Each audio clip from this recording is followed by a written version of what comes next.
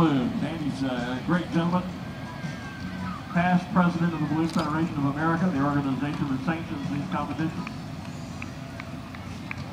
So, as I was saying, the, the, the challenge today, though, is, see, Paul Petrin is one of those guys who normally you would wind up and sling that marker and score a good uh, 40, 50 feet better than he's going to score because this morning you can't wind it up and throw it.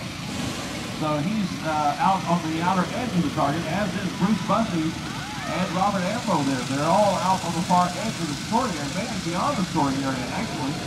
It's, uh, I think, a limited area of 300 foot. You're sitting right on the edge of the scoring area. You'll notice in front of you there is that uh, circle of mowed grass. That marks the outer boundary of the uh, scoring area. And that goes all the way around the target. So it looks like those guys might be on the very scoring area. Bussey and Robert Ambo might actually be outside the scoring area. It's hard to tell from uh, our perspective here. The blue balloon climbing high now with the yellow, green, and uh, purple diamond on it. In the center, that is uh, Brandon Blue. Brandon is here out of Iowa. This is called the Royal Racer, and he's our media sponsor, believe, this year. He got tagged with uh, sponsorship by 105 KYKX, Sunny 106.5, and a couple of other stations that I don't recall.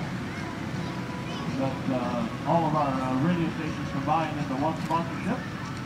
So he's climbing high and on his way to the other target. We'll be watching them, but they still got to fly out three miles and then come